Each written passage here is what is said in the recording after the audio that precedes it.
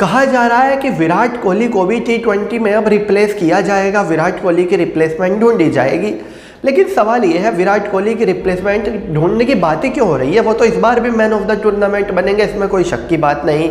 इकलौते इस playing eleven के ऐसे खिलाड़ी जो कंसिस्टेंट हैं स्काई ने रन तो बनाए, लेकिन वो कंसिस्टेंट नहीं रहे, बड़े मैचों में रन नहीं बना पाए।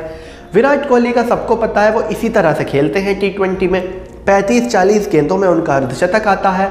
और उसके बाद जब वो 10-15 गेंद खेलते हैं, उनमें 30-35 रन बना देते हैं, जिसकी वजह से उनकी जब पारी समाप्त होती है तो पचास बावन गेंदों में अस्सी पिचासी रन होते हैं और काफ़ी ग्लोरियस वो पारी लगती है। लेकिन सेमीफाइनल में उन्होंने उतनी गेंदें नहीं खेली, इसलिए 40 गेंदों में 50 रन पे वो रह गए।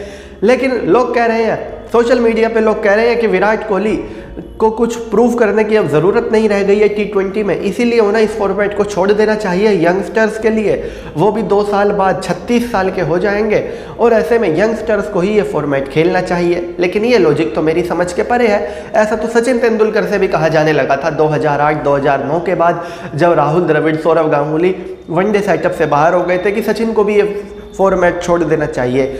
सचिन को किसी को प्रूव करने की ज़रूरत नहीं है और सचिन को सिर्फ़ टेस्ट क्रिकेट खेलना चाहिए, जितनी भी क्रिकेट उनमें बाकी है। लेकिन वो 2011 का वर्ल्ड कप खेले भी और सेकंड हाईएस्ट रन गेटर भी रहे और अच्छे रन बनाए, उन्होंने सेमीफाइनल में रन बनाए, उन्होंने क्वार्टर फाइनल में रन बनाए और उन्होंने वो शॉट खेले जो कोई बीस साल का लड़का नहीं खेल सकता था। और जब वो फॉर्म में थे तो वो क्यों उस फॉर्मेट से दूर होते? और यही बात विराट कोहली पे भी लागू होनी चाहिए। विराट कोहली गोट है टी ट्वेंटी क्रिकेट के, उनसे बेहतर बल्लेबाज। अगर इंटरनेशनल टी ट्वेंटी की बात करें, नहीं आया इस तरह से खेलने वाला। और अगर वो अपना करियर बिना टी ट्वेंटी वर्ल्ड कप के ख़त्म कर देंगे टी ट्वेंटी का तो दुख होगा एज अ क्रिकेट फ़ैन सबको।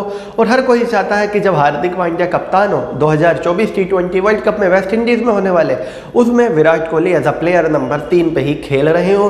बस ओपनिंग पार्टनरशिप में कोई पृथ्वी शो जैसा हो जो धुआंधार आकर रन बनाए। तो चलिए दोस्तों, मैं राहुल दहिया, फ़िलहाल इस वीडियो के लिए इतना ही। आगे भी इसी तरह की वीडियोस के लिए बने रहिए मेरे साथ। जय माता दी।